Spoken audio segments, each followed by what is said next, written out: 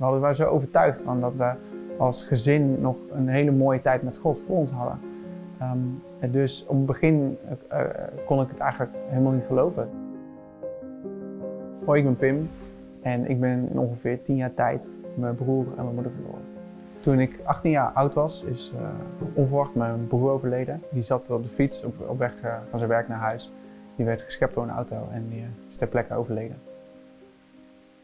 Ik denk de eerste dagen na het overlijden van mijn broer dat het een soort van momenten van, van ongeloof, dat je eigenlijk het gevoel hebt alsof je in een hele nare nachtmerrie zit, wisselde zich af met, met periodes waarbij je gewoon beseft van hé, hey, mijn broer is overleden. En ja, dat, dat je wel echt weet dat het realiteit is en dat het ook meteen gepaard gaat met, uh, ja, met, met groot verdriet. Ik ben zelf op, uh, op, opgegroeid in een uh, ongelovig gezin. Niemand van ons gezin was gelovig op het moment dat mijn broer overleed. Ongeveer acht, negen jaar later ja, was ik spiritueel zoekende en zodoende tot geloof gekomen. Mijn ouders waren eigenlijk in eerste instantie van het begin af aan al erg positief en vonden ze het heel mooi, alles wat ik vertelde over, over de kerk, wat ik vertelde over, ja, over hoe ik God ervoer. En tegelijkertijd waren ze ook een beetje sceptisch, ook als ze gingen soms mee op zondag naar de kerk en dan dachten ze van, nou, wat zijn al die mensen hier vrolijk. En toen hadden ze ook het idee van, het is misschien nep of zo. Um, en uh, ja, stap voor stap werden ze toch steeds uh, opener. Um, en ik denk een klein half jaar nadat uh, ik zelf tot geloof ben gekomen, was ook echt een, een van de diensten hier in Best Life Church dat ze die keuze maakten bij de oproep van is er iemand die vandaag God in zijn leven wil vragen. Dat ze allebei onafhankelijk van elkaar hun hand opstaken en samen baden dat, dat Jezus in leven kwam. En het was echt een heel bijzonder en ook emotioneel moment waarbij mijn moeder ook zei van het, het voelt echt als een, als een nieuw begin.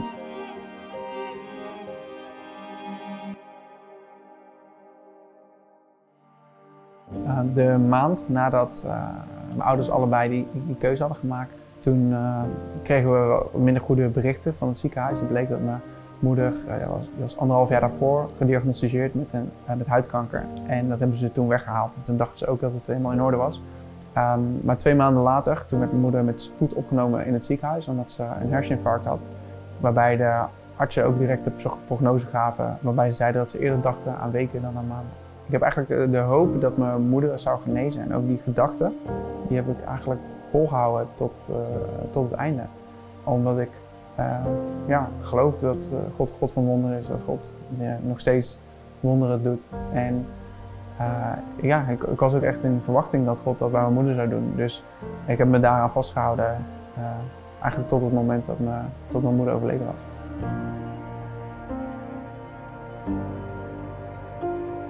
Hoewel ik me vasthield aan de gedachte dat, dat mijn moeder zou genezen, was ik me wel bewust van de realiteit dat me, ja, de gezondheid van mijn moeder heel snel achteruit ging. En toen mijn moeder ook dus daadwerkelijk overleed, toen uh, ja, was ik ook heel erg blij dat ik um, vrij snel een, een, overgang kon maken naar uh, dat, dat, er echt een bepaalde rust en vrede in mijn hart kwam. En dat, ja, dat ik ook niet wist van is het nou Gods wil dat mijn moeder overlijdt of niet. Maar dat ik wel wist dat God dat ze nu bij God was. En dat dat iets is wat me ook weer heel veel rust en, en vrede en ook een bepaalde manier van blijdschap gaf. Vooral ook als ik dan, dan terugdenk aan niet alleen de bekering van mijn ouders, maar ook de, ja, het verlies van mijn moeder, wetende dat mijn broer ook overleden was.